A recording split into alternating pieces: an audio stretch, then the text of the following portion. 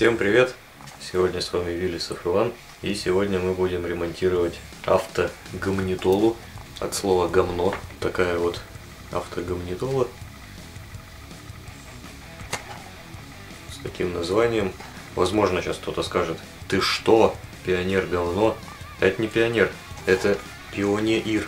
Жалкая китайская пародия на пионер, цена которой 800 рублей. Куплена была три года назад. И проблема с ней возникла следующая. Проблема эта возникала уже неоднократно, уже, по-моему, три или четыре раза. Магнитола начала сама переключать песни.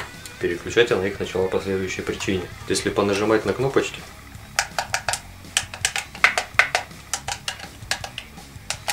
то как бы слышно, что все они щелкают. Но вот если понажимать вот на эту кнопочку, то есть вот кнопочка,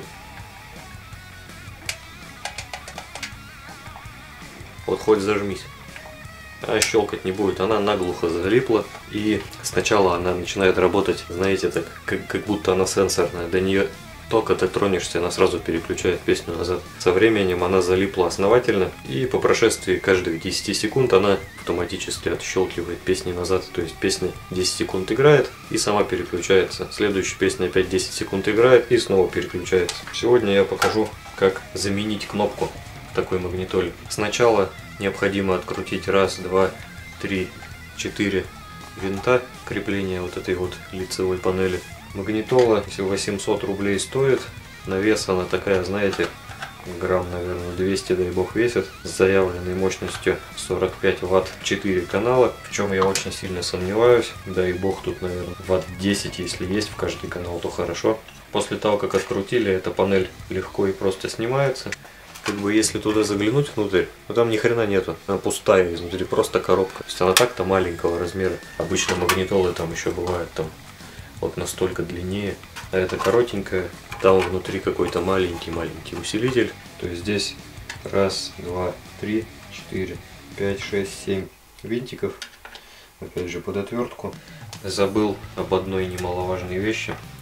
Для того, чтобы теперь эту панель снять, необходимо снять вот эту крутилку регулировки громкости. Нужно ее поддеть отверткой. Если пальцы цепкие, можно пальцами ее попытаться просто сдернуть. И бывает нужно выдернуть еще вот эту заглушку разъема под USB флешку.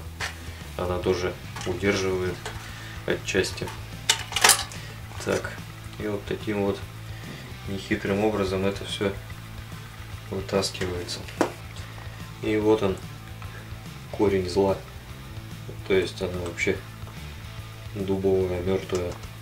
Если вот эта кнопка нажимается, то вот это, как бы ее не давил, ничего с ней сделать не удается. Выпаиваем эту кнопку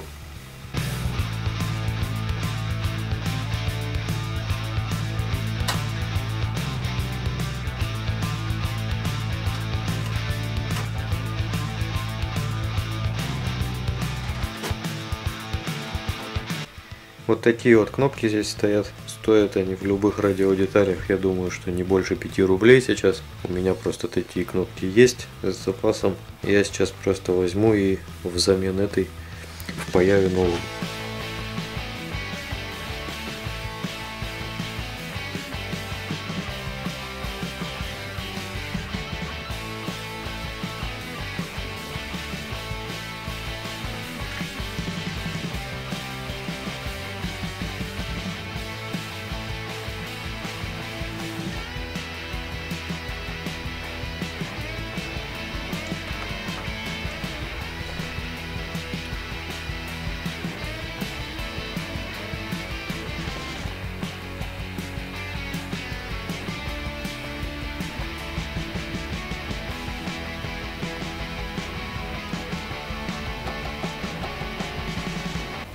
Теперь для уверенности можно тестером прозвонить, работает ли вообще кнопка, не повредилась ли новая кнопка во время пайки, потому что можно кнопку перегреть, и она либо залипнет так же, как старая, либо не будет включаться. То есть сейчас контакта нет. Нажимаю, контакт есть.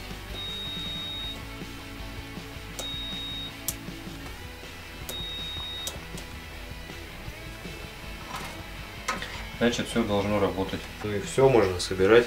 Вообще, конечно, целесообразность ремонта такой магнитолы под вопросом. Если вообще в ней хотя бы что-то сломалось, ее надо при первых же возможности просто взять и, взять и выкинуть на помойку. Давно хочу себе магнитолу приобрести какую-нибудь нормальную, хорошую.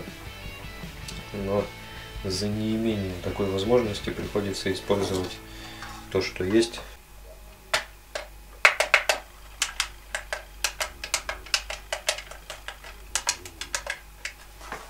Все, нажимается, значит все должно работать.